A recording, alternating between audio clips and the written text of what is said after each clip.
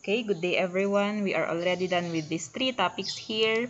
Selection, uh, housing and facilities, as well as brooding management. Okay, now let's proceed to management of growers. Alright, so in management of growers, um, we will be discussing the following. Okay, the systems of, uh, of rearing, growing of pullets, and signs of sexual maturity. Okay, So let's start with systems of rearing. So after the uh, the brooding stage, okay? So after the brooding stage, the chicks are transferred to the grower house, okay? Or provided with a much wider floor space, okay? Unlike brooder houses, uh, grower houses are no longer provided with heaters. So hindi na kailangan ng mga heaters dito sa grower house, grower house kasi nga sabi natin sa brooding, um, pinoprovide or sinusupplement lang natin yung uh, heat sa kanila kasi hindi pa sila comfortable sa cold environment. But when they are already on the grower stage, kaya nilang kaya na nilang mag-survive on their own without supplemental heat. Okay? So, generally, the grower chickens are reared on wider floor space. Of course, uh, lumalaki sila so kailangan nila ng wider na floor space. Okay? Yung um, house constructions for uh, brooder uh, or for sorry for the grower house could be free range or extensive system semi-confinement system or complete confinement system. So ito yung mga systems of, root, of rearing natin. The free range, the semi-confinement, and the complete confinement system. When we say free range system, it requires more land area. Kaya ang tawag sa kanila usually is extensive system. Okay? So, extensive. Mal mas malawak yung area na kailangan. Okay? okay? That is why this is adopted only when adequate land is uh, available to ensure that desired stocking density is uh, met okay, by avoiding overcrowding. Okay, para ma-meet yung uh, desired stocking density. Ano ba yung tinatawag nating stocking density? This is the number of animals kept or reared on a given unit of area. Okay, ilan ba yung dapat na number of animals for a particular area? No? So, meron. Okay, in the free-range system, uh, we have 250 birds per hectare. So, this is um, yung stocking, desired stocking density in a free-range system. Okay, or, or an in, in an extensive system. So, a range provides the following, shelter, greens, feeds, water, and of course, yung shade. Okay, yung uh, saan galing yung shade? Kasi, merong mga puno sa uh, surroundings, etc. So, hindi lang, hindi dahil free range system sila, wala nang shade doon sa uh, area. Okay? Uh, foraging, yung feeds, no? Foraging is the major source of feeding for birds raised for uh, raised in an extensive system kasi in a free range system maraming grasses no in the surroundings. So they can feed on the grasses no. Um, aside from uh, sa mga binibigay natin na feeds so very important yung uh, forages. Kasi aside from uh, sa feeds na um, cost of production natin, um, nalilesen, no, yung expenses natin when it comes to feeds. Kasi nga sabi natin, feeds comprise 75% of cost of production, whether that be in poultry production, in swine production, or in ruminant production. Okay? So, malaking tulong yung forages. Okay. Uh, shelter also. Uh, this is usually provided by uh, by temporary roofing, no, supported by ordinary poles. So, minsan naglalagay din sila. Siyempre, ang free range area naman, hindi naman uh, uh, parang unlimited yung area, no? Uh, meron ding uh, boundaries. Meron ding fence yan.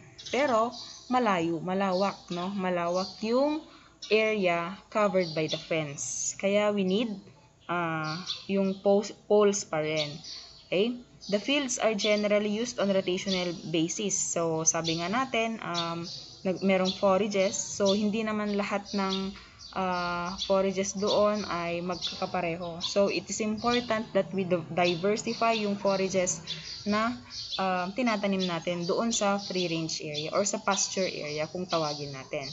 Kasi nga, para kapag natapos na sila sa isang part, sa susunod na uh, araw naman or sa susunod na week, pupunta sila sa other um, forages para rotational.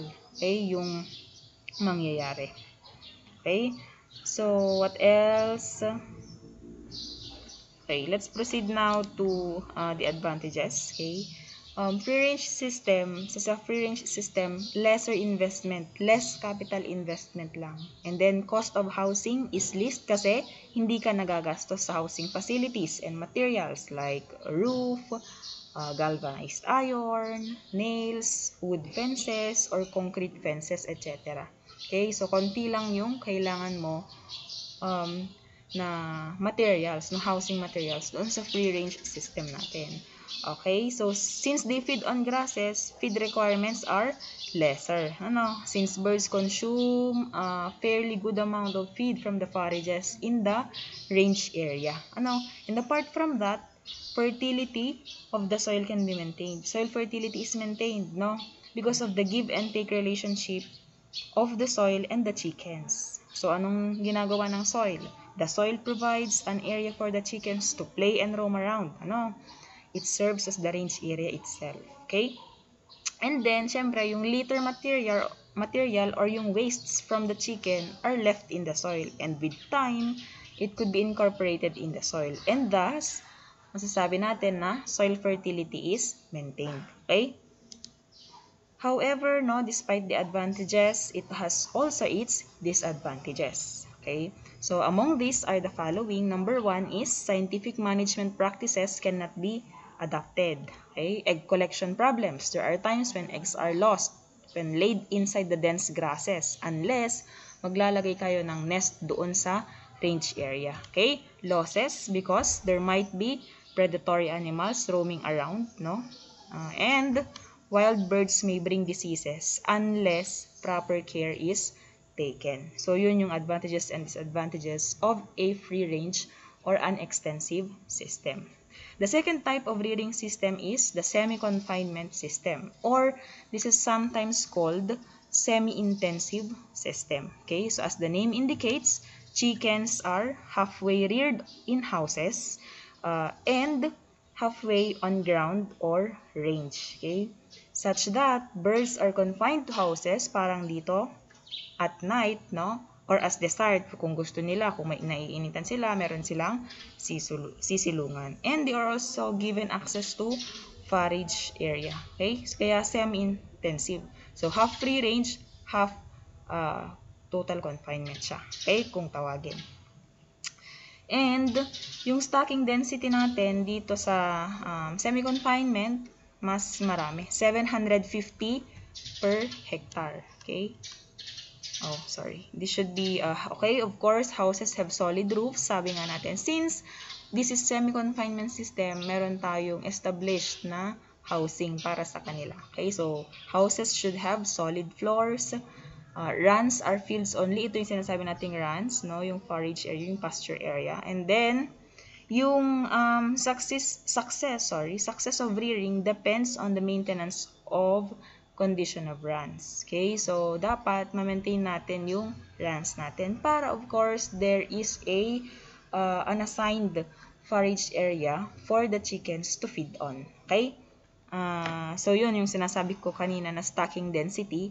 Sa free-range system, ang stocking density is 250 birds per hectare.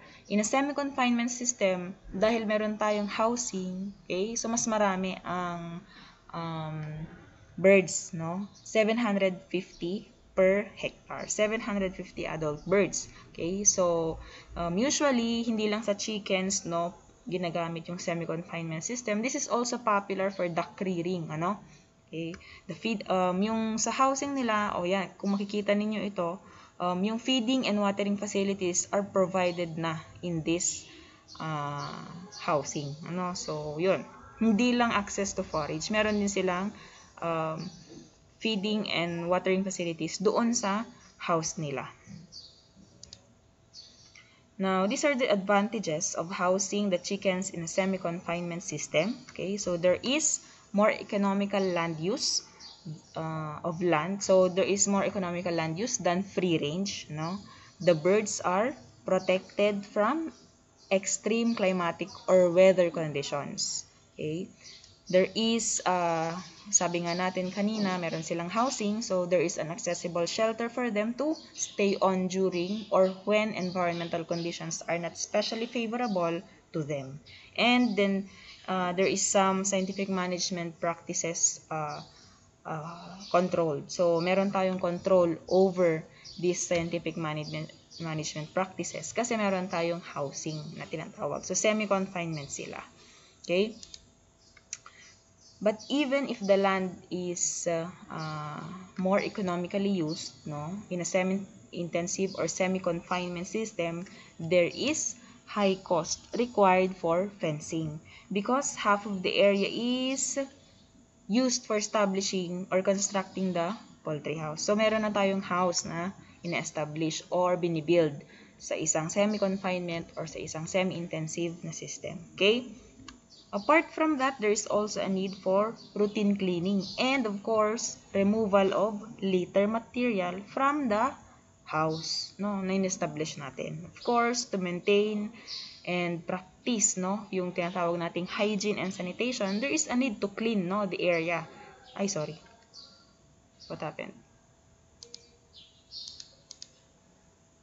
Hmm. I'm sorry. Okay, dito pala tayo. So, there, sabi ko kanina, there is a need to clean the area no, such that the incidence of diseases and possible contamination uh, among the flock no, are avoided. Okay, so that's for the semi-intensive or semi-confinement system. The third and last system of breeding is the complete confinement system. So as you notice, the birds here are totally confined, no? Either on ground floor, sabi dito, wire netting floor, in cages. So these are uh, examples of cages. As you can see in the picture. Or on slats, no? Bamboo slats maari din.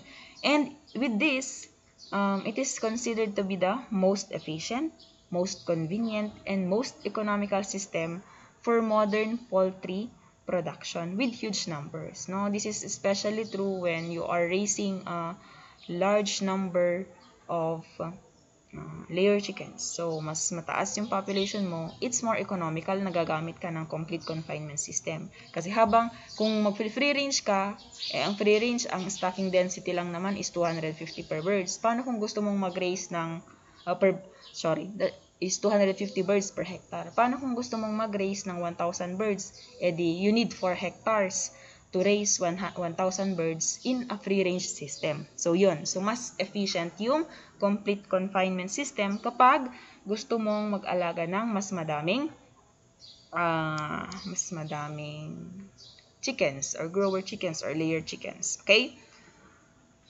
So, ito yung uh, intensive system uh, advantages. One is, you only need less land. And day-to-day -day management is easier. So, minimum land, Konti lang yung kailangan man land, pero you are raising high number of chickens. Okay?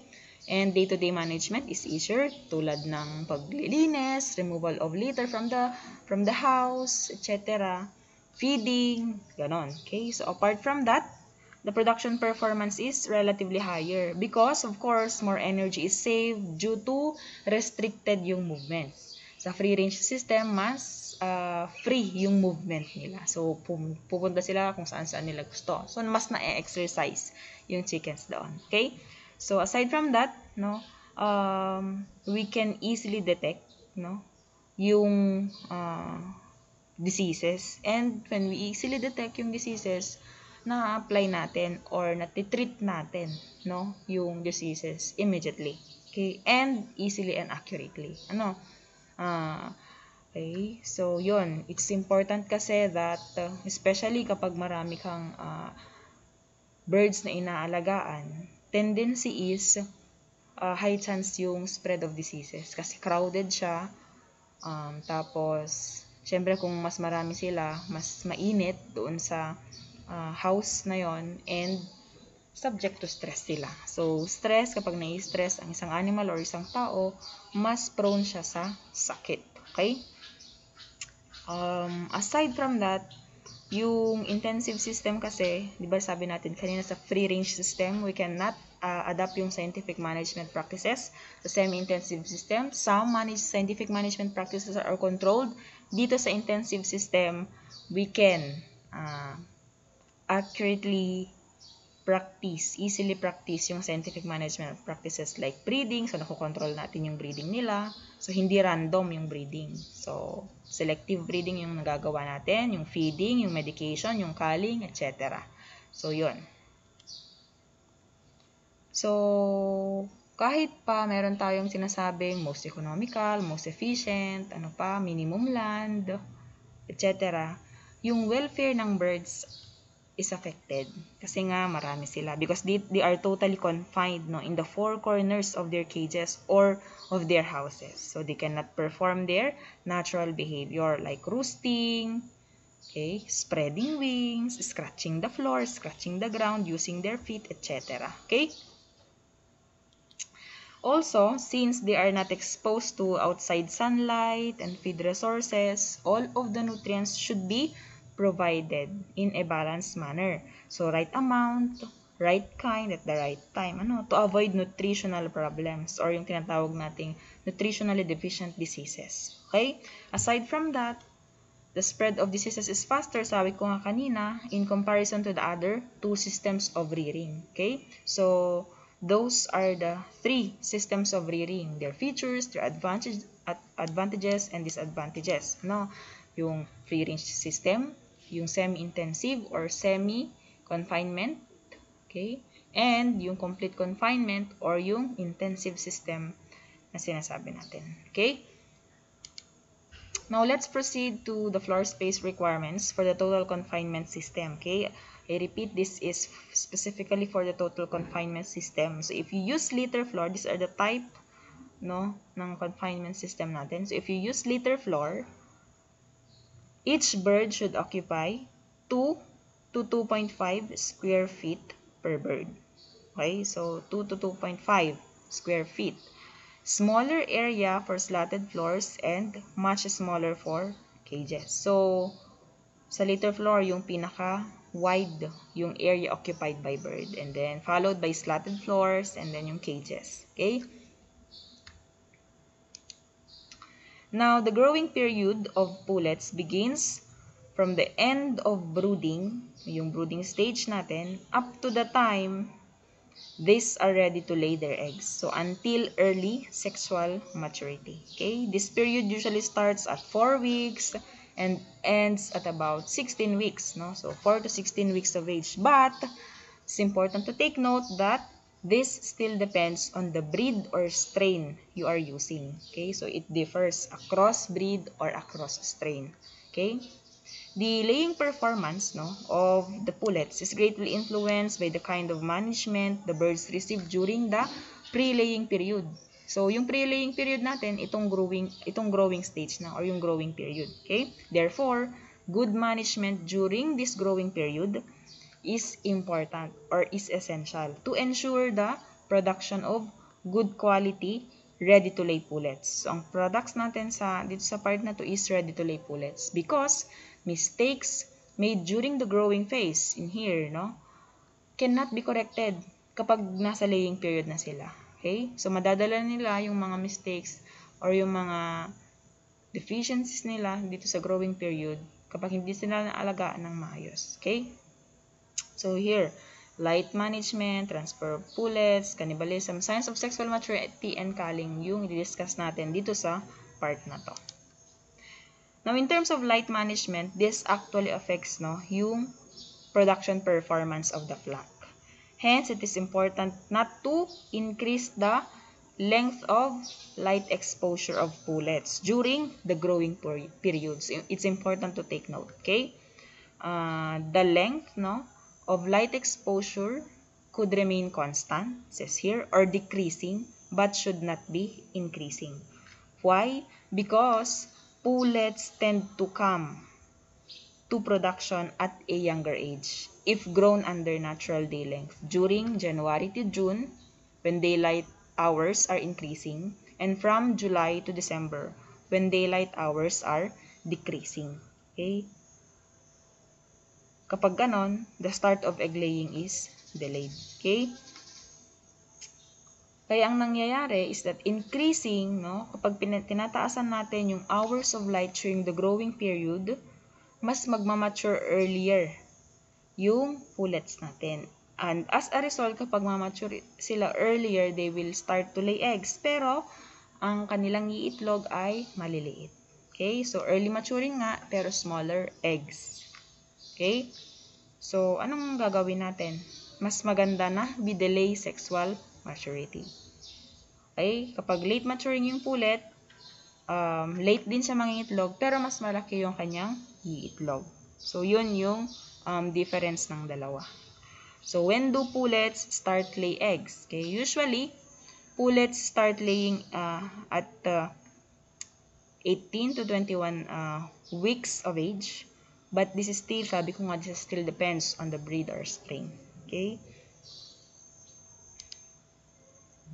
Now, these are the things no, to take note when transferring pullets. Okay, the transfer of pullets should be, saan natin ito transfer? Transfer of pullets from the grower house to the laying house. Okay, it should be one month before onset of egg production. And the birds should not be allowed to lay eggs in the rearing house. Kasi kung ganon, uh, madedevelop nila yung egg-eating habits. Okay? And of course, importante yung uh, careful and proper handling. Um, bakit natin, uh, by the way, bakit natin tinatransfer yung mga pullets one month before onset of egg production? Kasi, kapag transfer mo yung uh, pullets just at the start of egg production, this will affect yung laying performance. And this could cause internal egg breakage. Okay? So, yun. Dapat one month before onset of uh, egg production. Sa careful and proper handling, you have to uh, transfer them during fair weather. So, dapat hindi mainit yung panahon, uh, mas preferable, mas uh, mas okay yung uh, you transfer them at night when the birds are calm and easier to handle. And then, yung age at first egg natin um, depends upon the breed, sabi ko nga kanina. Ano yung age at first egg? This is the time or the age of the chicken at which the egg is first laid. Kung sa kailan siya unang nangitlog. Okay? Sabi ko kanina, generally, egg-type breeds come into production when these are about 18 to 20 or 21 weeks of age. Okay? And then we have here cannibalism. And this is a bad habit, no? Cannibalism is a bad habit among chickens, no? Of all ages. So, hindi lang growing chickens, kundi pati na rin kung sila ay sisiw pa, kung nasa brooding stage. Okay? Pati na rin kung laying, nasa laying stage sila. So, it starts usually from toe pecking and feather pecking, no? which may result in serious wounding and death of birds. And these are the possible causes of uh, cannibalism. One is imbalanced rations. So, hindi tama yung binibigay mong diet sa kanila. Overcrowding, and insufficient feeding and drinking spaces. So, kapag gutom sila, ano, um, wala silang iinumin, siyempre, anong gagawin? Tutukain nila yung kapwa nila. Overcrowding, stressful, mainit. So, tendency is, they will tend to find, fight, fight again, against each other. So, they fight for space. Okay? What else? Hunger. So, hunger, uh, gutom, insufficient feed Okay? What else? Poor ventilation. And uh, excessive heat and too much sunlight no in the growing house. So, lahat ng to, this will lead to stress. May stress yung chicken pag ganito. Kapag stress yung chicken, ayan, gagawa siya ng hindi kaaya-aya. Cannibalism is one. Okay? So, what should we do then to at least minimize this problem? No? Of course, we have to look at the this one causes. We have to know the real problem. You have to observe the flock. Okay? Kung nakikita mong overcrowded yung um, yung kulungan or lu luwagan mo ang space or ihiwalay mo yung iba. Okay? Yan, sabi ko kanina, serious and this cannibalism of growing chicken leads to serious wounding and death of birds. So, yan, what to do? Proper feeding, proper housing, beak trimming or debeaking, and proper ventilation. We have to know ano, yung real causes or yung root cause, yung problems talaga. So that, alam natin kung ano yung i-correct natin. Kasi kung hindi natin alam yung causes, hindi natin alam kung ano yung gagawin. So yan, imbalanced rations, insufficient feeds or hunger, we have to properly feed them. Overcrowding, tapos insufficient spaces, dapat proper housing. Ano? And then, big trimming or debeaking is usually uh, recommended. And, of course, to uh, address this poor ventilation, we have to have proper ventilation. Dapat maganda yung air circulation uh, within the house or inside the house. Yan. So, this is uh, an example of a chicken na na-debeak, okay? Or na-trim yung beak niya, okay? So, after 16 weeks of age, the reproductive organs of pullets will start to develop. So, sexually mature na sila in preparation for reproduction or yung tinatawag nating egg production. And this is manifested by the change in appearance of the secondary sexual characters. So the manifestations, of course, or the signs that sexual maturity is already reached include the following. Number one is the increase in comb and wattle size. So the comb and wattles will begin to increase no, in size and the color becomes red. Okay? The color of the comb and wattle becomes red. Tends to redden. Ano? Na, number three, the pullets become friendly and cackle. Okay? So, mas uh, friendly na sila, sociable. And then, pullets become docile and gregarious. So, ibig sabihin, when we say docile, mas maamo na sila, they are easily managed. And when you say gregarious, mas friendly, mas sociable na sila. And then, the vent and abdomen become enlarged. So, mapapansin ninyo yan. Okay? So, even if we have here yung uh, manifestations or signs of sexual maturity, the surest sign is the laying of the first egg. When the chicken has already laid her first egg, that's the sign that she has already reached sexual maturity. Okay? Tulad din nung sa baboy. Kapag nakita mong um, naglandi yung baboy, makikita mo yung mga iba't ibang signs, no? Secondary signs, yung reddening, swelling of the vulva, uh, standing uh, when mounted, etc. Grunting, frequent urination, yung mga ganon. Uh, those are uh, manifestations. Those are secondary signs. But the surest sign of a sow or guilt in estrus is yung standing heat. Okay, so meron din tayong surest sign of sexual maturity dito sa uh, case ng layer chickens. And that is yung laying of the first egg. Okay, so although the most awaited time in raising pullets is when they begin producing eggs, no, it is not desirable to uh, hurry them up to production, no, too early because, sabi ko nga kanina, too early maturity leads to production of too many small eggs, and lower egg production rate, tendency to obtain lower production, egg production rate. During the whole production period, ha, hindi lang sa start, but in the whole production period. And higher mortality, higher incidence of prolapse, etc. So, ito yung mga uh, maaring epekto when we uh, when we hasten yung sexual maturity nila. So, anong gagawin natin para hindi mapaaga yung sexual maturity? Huwag natin i-increase yung light exposure or yung light duration ng mga grower chickens natin. Okay? Yan. Speaking of measures no, to delay sexual maturity, okay, these are the solutions no, that we can practice para hindi early yung sexual maturity ng chickens natin, egg type chicken. So, number one, reduce feed quantity. Of course, you have to reduce the actual amount of feed that you give to the chickens. And the amount of reduction will depend on the extent of delaying required and the composition, of course, of the diet. So, some poultry raisers have practiced reduction in actual volume of the feed. So, it is recommended talaga. Makita nila yon. Second is fiber diet. The feed can be diluted by incorporating a fiber, high fiber diet. Okay, high fiber materials such as rice or rice hulls. Okay, the pullets should be full fed, no? Kapag merong fiber diet, you have to fully feed them. Fully feed them rather, okay? And then number three is low protein or particularly yung lysine, okay? Kapag low yung protein ng diet nila, this delays the sexual maturity. Okay? Low protein and high fiber. So, yun yung tatandaan ninyo. Number four, so kung ayaw mo ng reduce uh, feed quantity, maaari ka ding mag-practice ng skip feeding. No? So, wag mo muna silang pakainin for a meal. Okay? For, okay? To delay the sexual maturity. And then, of course, importante yung light reduction. Okay?